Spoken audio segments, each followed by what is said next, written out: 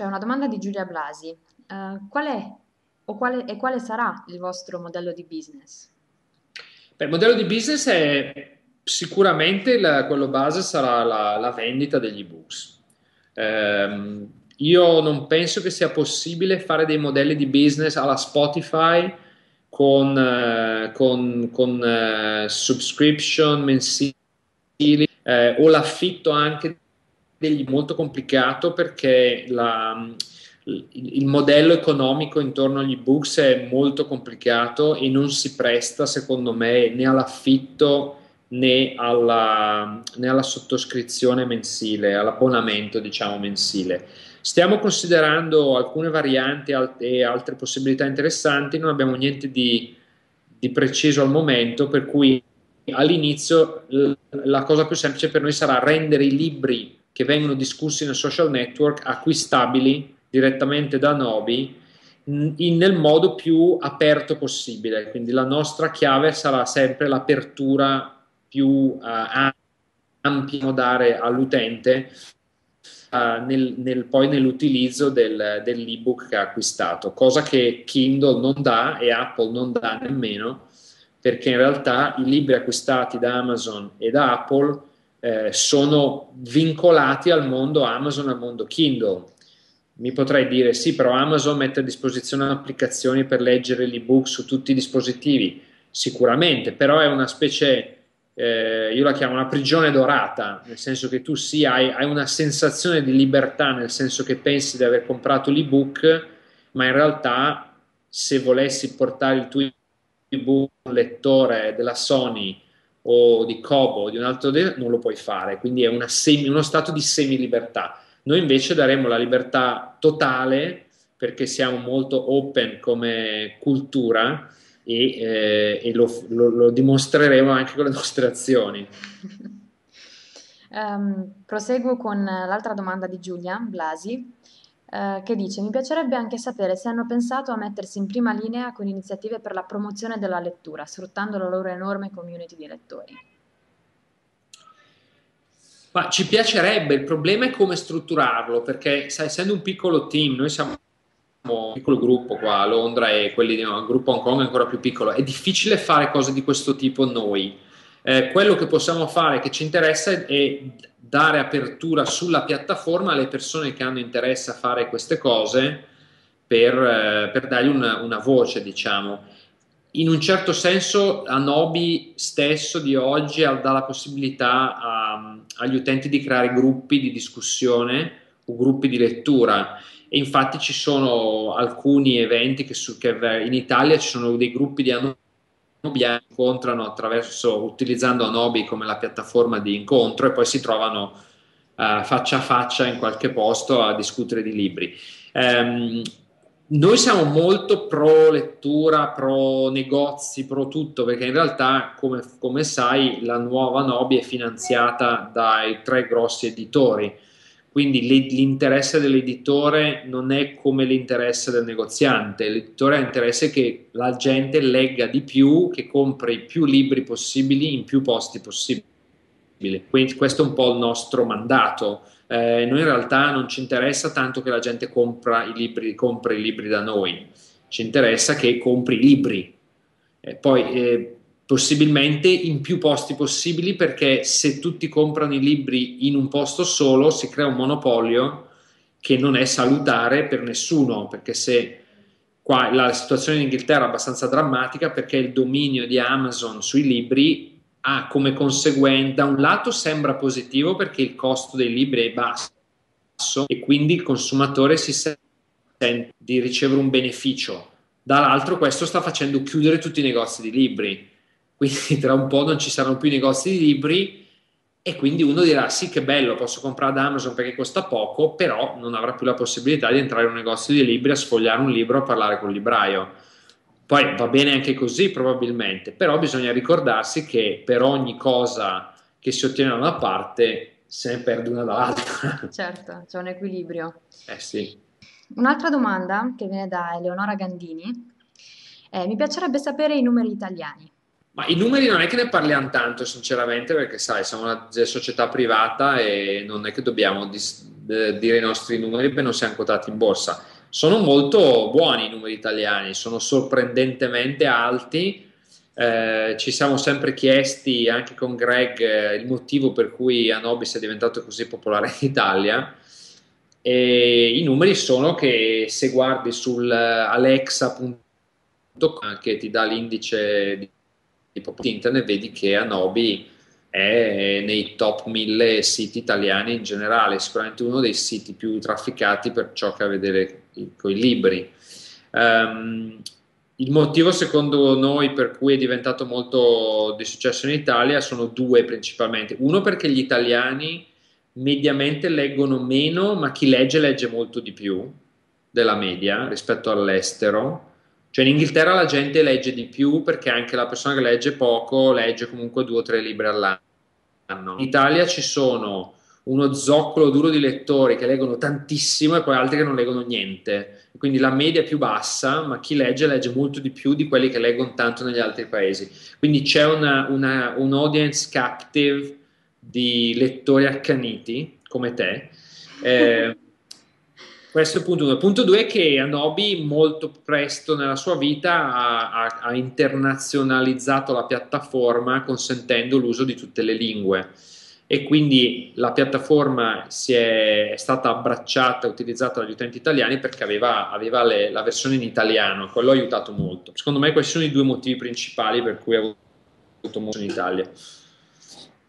Allora, eh, proseguo con un'altra domanda di Mirko Pallera, cui- alla quale però mi sembra che tu abbia già risposto in realtà, che era, hanno degli strumenti di marketing per i libri e se sì, quali? Nel senso, cosa offrono agli editori e autori per promuovere i libri?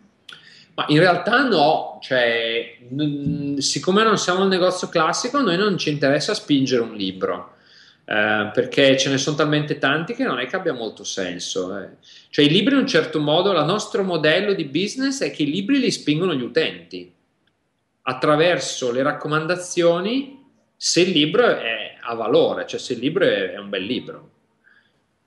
E il nostro obiettivo è che, qualche, cioè, che un, un, lettore scopra una, una, chicca e lo dica a tutti gli amici, cioè quello è, la, è il modello di business di Anobi eh, se poi siamo noi a vendere il libro e l'utente decide di comprarlo da noi, bene, noi siamo contenti perché ci guadagniamo qualcosa, ma non, cioè il sito, proprio anche la, la, nuova versione che stiamo costruendo, non ha proprio la struttura per poter promuovere un libro.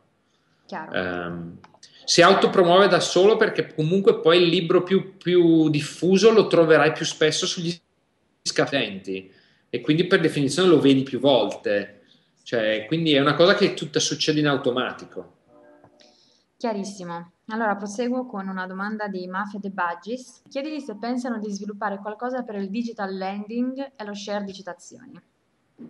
Oh, il digital lending eh, ni, nel senso che vedremo con, cioè il modello di digital lending ehm, che secondo noi funziona è quello base alla Amazon dove tu puoi prestare un libro, lo fa anche Barnes Noble in America, se hai un ebook lo puoi prestare una volta per un mese, persona sola. Una cosa può fare, tecnicamente un po' complicata, per cui non è una cosa che riusciremo a fare immediatamente, però è una cosa che ci piacerebbe fare. Lo sharing delle, dei commenti, quello sì assolutamente, ehm, sempre nel, ci sono alcune restrizioni che ti impongono gli editori perché hanno paura che uno a forza di sharing un pezzo di qui, un pezzo di là, alla fine può share tutto il libro su Facebook e non è quello che gli editori vogliono. Eh, però sicuramente per noi la parte di sharing è molto importante e soprattutto poter fare lo sharing mirato agli amici. Sì. Cosa che nei Kindle nessun altro fa.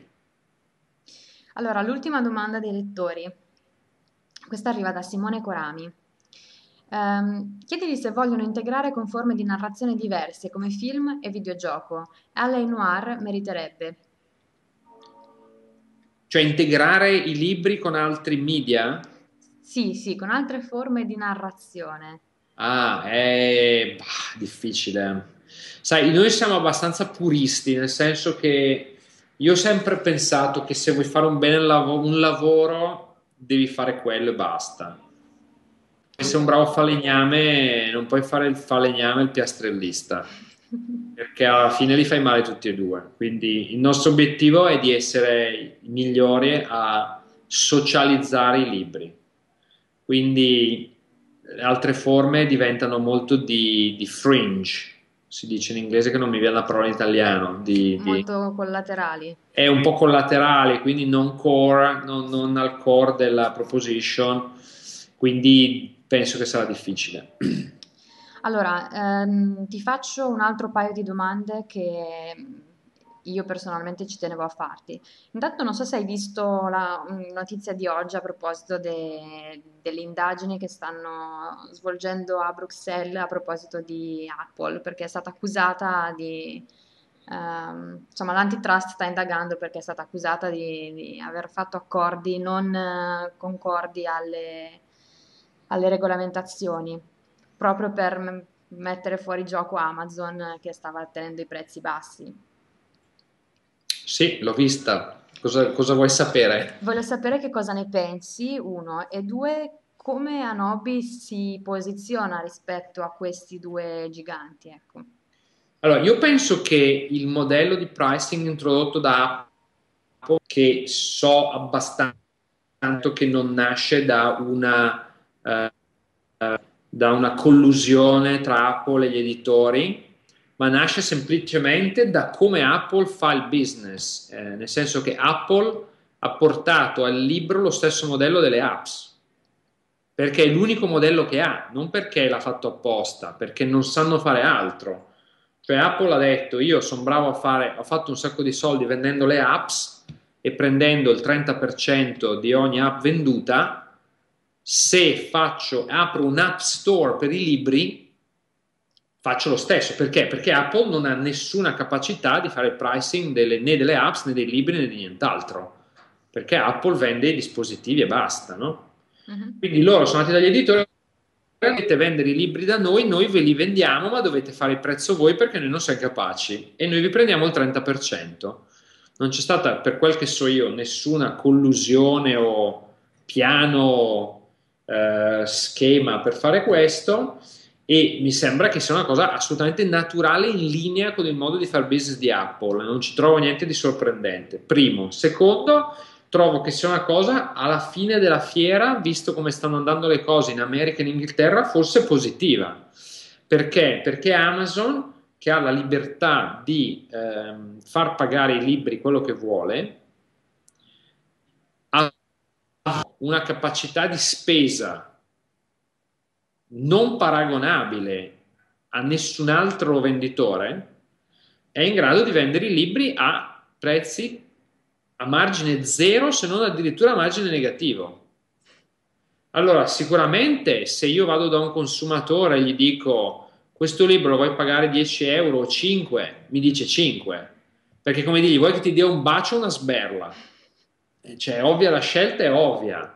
Il problema è che il consumatore non sa e non pensa quali, a cosa, quali siano le dinamiche che è il motivo per cui ti offro il bacio invece della sberla. E il problema è che Amazon, in un mondo dove non c'è controllo sui prezzi, o diciamo un prezzo base di resistenza, Amazon ha sempre utilizzato questa metodologia per eh, conquistare market share l'ha fatto talmente bene che in Inghilterra oggi il mercato degli ebooks Amazon si stima che abbia intorno al 95% del mercato. Wow. Eh, quindi cosa fa questo modello introdotto da Apple? In realtà rintroduce la competitività, la concorrenza, che poi è assurdo perché in realtà lo accusano dell'opposto, gli dicono ah tu siccome blocchi i prezzi è contrario alla concorrenza in realtà reintroduce la concorrenza perché rimette in gioco tutti quei concorrenti che non possono vendere i libri a margine negativo, che sono tra l'altro tutti i business il cui core business sono la vendita dei libri. Perché se il mio core business è vendere i libri, non posso farlo a margine negativo, perché se no devo mandare a casa tutti i dipendenti. Se sono un supermercato, qua i supermercati vendono i libri, o se sono Amazon che ti vende anche le scarpe da lavatrice, allora dici io prend, faccio margine zero negativo sui libri perché tanto faccio margine positivo sulla lavatrice. Ok? Chiaro. se io sono la Feltrinelli eh, o qualsiasi venditore di libri in Inghilterra, non ti puoi permettere di vendere i libri sotto un certo margine. Quindi, secondo me, quello che ha introdotto Apple è fondamentale perché se gli viene bocciato, cioè se questo modello viene rimosso dalla comunità europea, crea un mercato anticoncorrenziale perché rende il mercato, apre il mercato completamente a Amazon e nessuno sarà in grado di fargli concorrenza. Nessuno. E quindi sarà molto bello per, il, per noi lettori perché avremo i libri molto economici, ma tra cinque anni non ci saranno più negozi di libri, ci sarà solo Amazon che a quel punto inizierà a spingere probabilmente i libri su cui hanno i margini migliori o i libri degli autori promossi da loro e quindi si perderà veramente la varietà, la molteplicità del mercato. Quindi quello che sembra primo, di primo acchitto regola anticoncorrenziale, secondo me in realtà facilita molto la concorrenza. Quindi mi auguro che la, la comunità europea arrivi alla stessa conclusione, perché se no saranno dolori per tutti quanti. Chiarissimo. Per quanto riguarda invece il posizionamento di Anobi rispetto a questi, a- ai due, Amazon e Apple? Il posizionamento è che noi rispetto a loro siamo un social network, cosa che loro non sono, e siamo interamente focalizzati sui libri. Quindi il nostro obiettivo è di creare una piattaforma che diventi un po' come ti dicevo prima il caffè letterario contro di chi ama la lettura, cosa che Amazon non è che chi ama la lettura non va su Amazon, la gente va su Amazon a comprarsi il libro, idem certo. su Apple. Quindi noi cerchiamo, il nostro obiettivo è di diventare una piattaforma di incontro, di conversazione, di scoperta soprattutto di nuovi libri. La scoperta per noi è chiave perché il problema irrisolto nel mondo dei libri è proprio la scoperta, che c'è probabilmente per ognuno di noi c'è più di un libro potrebbe cambiare la vita, ma non sappiamo qual è e dov'è. Chiarissimo. Quindi um, un'ultima domanda sulle tempistiche proprio. Quindi quando arriverà la nuova versione di Anobi in Inghilterra e in Italia? Allora, in Inghilterra è già in, in beta aperta e stiamo, ci stiamo già lavorando con un po' di gente qua. Speriamo di, in Italia purtroppo, e qui è, è, è uno svantaggio per l'audience italiana purtroppo che è causa del abbiamo in Italia. In Italia è un posto dove l'apriamo proprio perché abbiamo l'utenza più grossa e non vogliamo eh, fare un dispiacere a tutti gli utenti italiani, quindi vogliamo essere strasicuri che quello che stiamo facendo non, eh, non, non crei un effetto negativo sulla, sull'utenza italiana. Eh, io penso realisticamente come tempistica, se tutto va bene, il, il secondo quarto del 2012, quindi maggio, giugno. Va benissimo, Matteo, io ti ringrazio tantissimo di essere stato qui con noi oggi e per il tuo tempo. Figurati Maria, è un piacere.